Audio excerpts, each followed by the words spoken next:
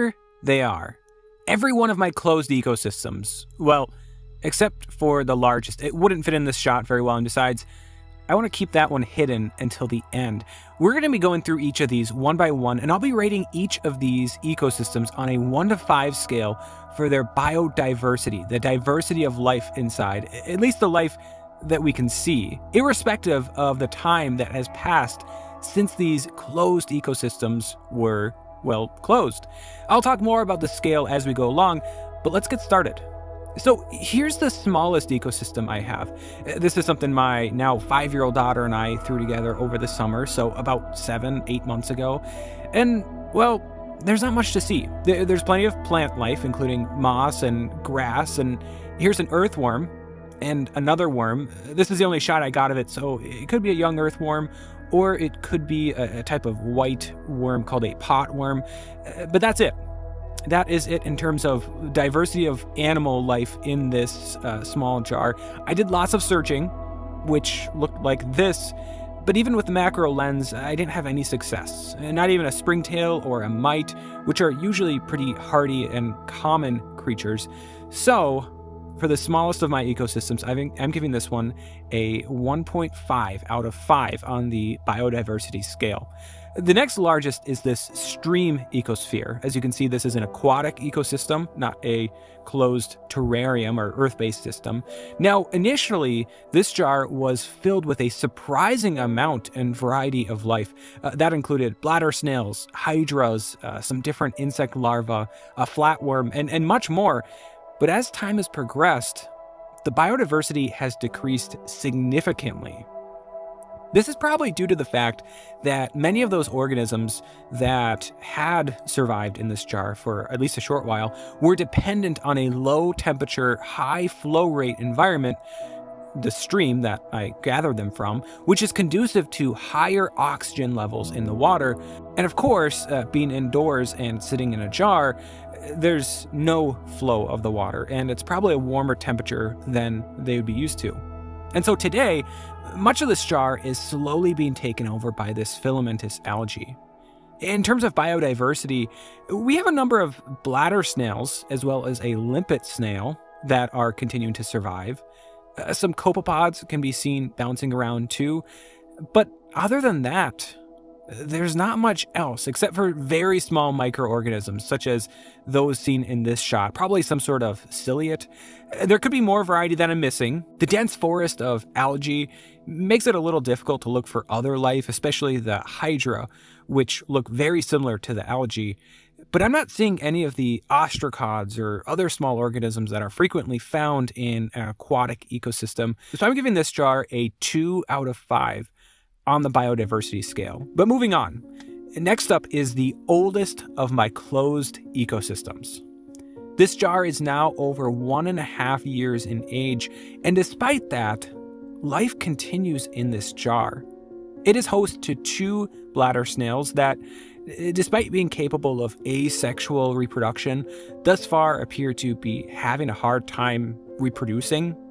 There are also a number of copepods that can be seen, most of these are probably filter feeders, feeding on tiny plankton floating in the water. Also visible on the glass is some phytoplankton, a favorite food for the bladder snails. More on that later. The oxygen production from this clump of algae can be easily visualized in this shot, with the bubble seeming to add buoyancy to the green blob. But, disappointingly, this jar lacks some of the diversity seen in the past, such as seen in this shot, or this right here, which is a tubifex worm. But that's often the case in these closed ecosystems, as we'll see later. Uh, but for now, uh, we'll give this jar a 2 out of 5 on the biodiversity scale. And speaking of less diverse ecosystems, here's another great example of that trend I was talking about less diversity over time. This is the wasteland ecosystem. This is the oldest of my terrestrial, my land based ecosystems. And as you can see, it used to look much less green and much more, well, dead, hence the name, the Wasteland Terrarium. But amazingly, over a year and a half time, it still harbors life. But that diversity has decreased over time. Inside, we can see isopods, centipedes, mites, and springtails, and this, a type of white worm commonly called a potworm, but that's about it. After a year and a half, I think the populations in this jar have sort of stabilized, and I hope the diversity doesn't decrease further anytime soon. But, like I said, time takes a toll on the diversity of any of these closed ecosystems. For the biodiversity scale, I'm giving this a 2.5 out of 5, which isn't bad for being nearly two years old, but still much less diversity than even six months or a year ago. But I think it's time for an ecosystem that does have a little more diversity. This is a pond ecosystem, and it's a little over three months since old. it was from a relatively shallow pond in a swampy area. This jar's inhabitants are, are sort of unique. How so? I'll show you in a minute. But first off, uh, this jar has the standard aquatic animals uh, that you would find in many of these closed ecosystems. There's both ram's horn and bladder snails to keep the algae and plant populations in check. And uh, we have some crawling water beetles that feed on some of the zooplankton inside. But what's really interesting about this jar isn't what's under the water, it's what's above. This is a springtail. Springtails are tiny insects that live everywhere on Earth, for the most part, on all seven continents of the world.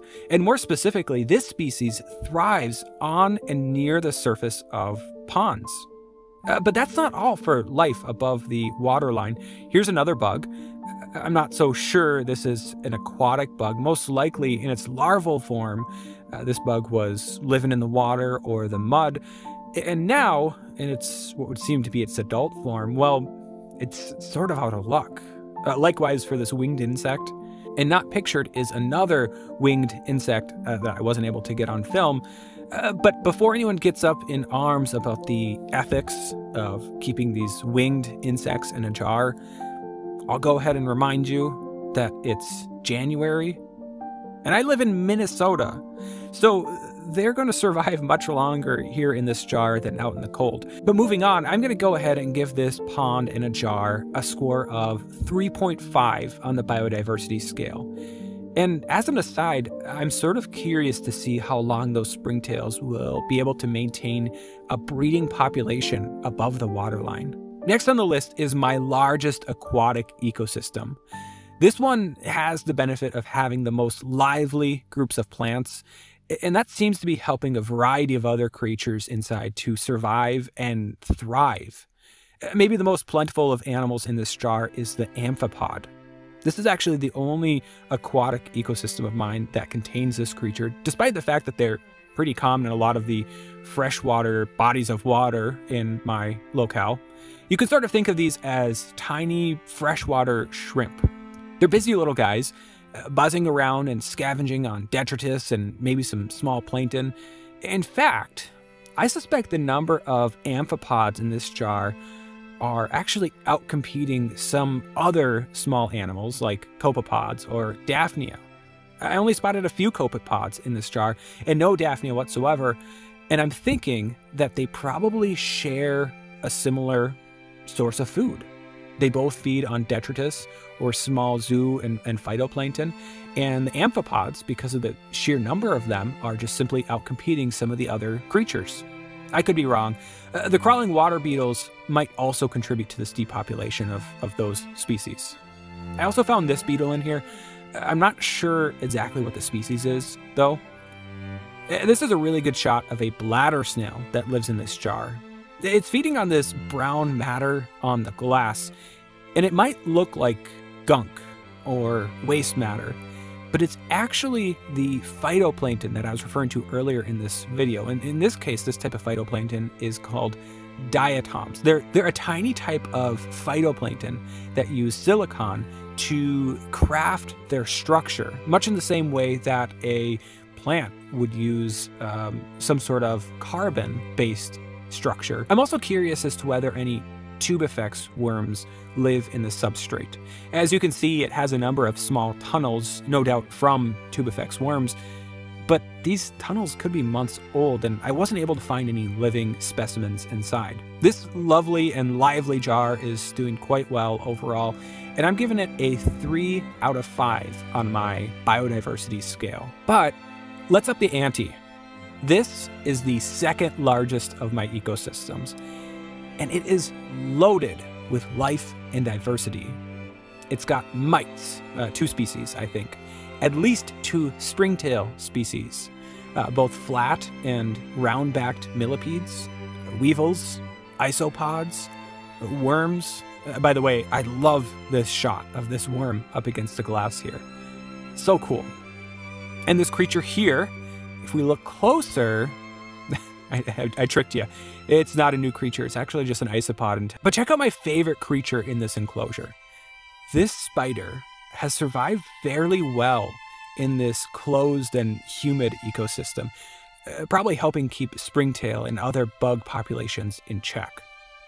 But wait, there's more. I also spotted a flying insect in here. It probably was put in this enclosure as a larva or an egg, and it's unfortunately destined to live out its natural life in this small environment. But what I've listed so far isn't it for this terrarium. There's also snails, slugs, and centipedes, though I wasn't able to get good footage of any of them. This is easily the most diverse enclosure I have. So, what would I rate it on the biodiversity scale? I'd give it a 4.5 out of 5, an almost perfect score. And I'm also going to add a big ol' asterisk because Okay, this isn't exactly a closed ecosystem. And in reality, since I put this together this past summer, I've since been adding a ton of both dead plant matter and bugs as sort of an experimental ecosystem that could also seed future ecosystems. This would enable me to make a new ecosystem in a jar or a similar container, even if it's the middle of winter in northern Minnesota.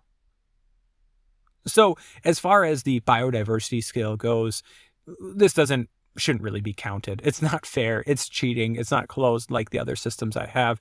But I thought I'd show it to you anyways. Finally, though, we've come to the largest of my ecosystems.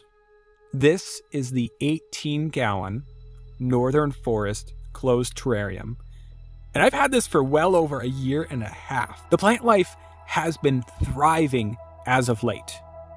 Here's some flowers that are wilting now, but were in bloom for well over a month, longer than I'm guessing they would have been if it was in the wild. Uh, this ecosystem is also home to a broad variety of fungi, which helps to break down some of the waste inside. And as for animal life, the diversity has decreased in the past year. But like some of these other ecosystems, it seems like it's stabilized. Isopods and springtails scurry across the soil and plants looking for detritus to feed on. Earthworms uh, churn up the soil as they cause a constant change in the terrain. Centipedes lurk in darkness, only coming out to hunt. As far as food goes, these centipedes mostly feed on springtails, helping keep their populations in check.